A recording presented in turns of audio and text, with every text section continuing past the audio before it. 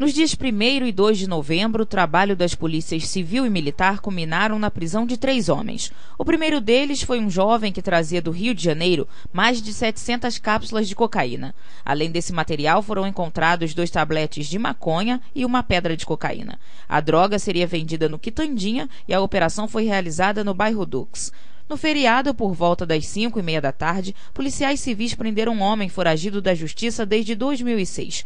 Uma denúncia anônima indicava que o acusado estava numa fazenda em Itaipava. O mandado de prisão preventiva expedido havia cinco anos era decorrente da antiga lei de drogas.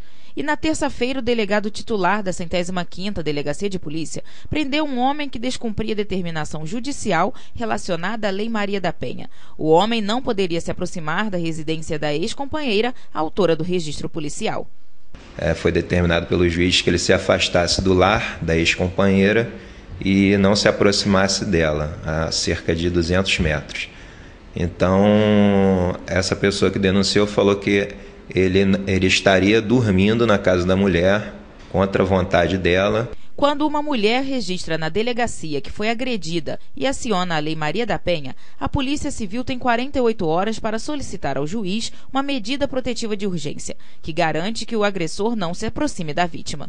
A própria Lei Maria da Penha que trouxe as medidas protetivas de urgência né, fazendo com que o juiz determine que aquele agressor né, fique afastado dessa mulher, dessa vítima.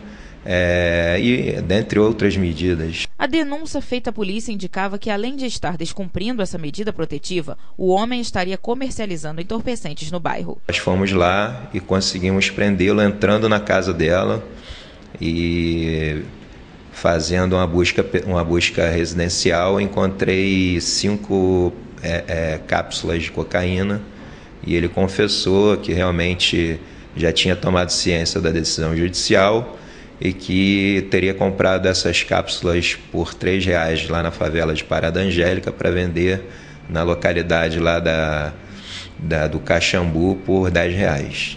O delegado ressaltou ainda que cerca de 40% dos registros policiais estão relacionados à Lei Maria da Penha e que isso é reflexo da divulgação e ações da polícia. É, a divulgação é muito importante porque também entra no encorajamento das mulheres, né, que são maltratadas, são lesionadas e sofrem qualquer tipo de violência, né, para vir à delegacia denunciar.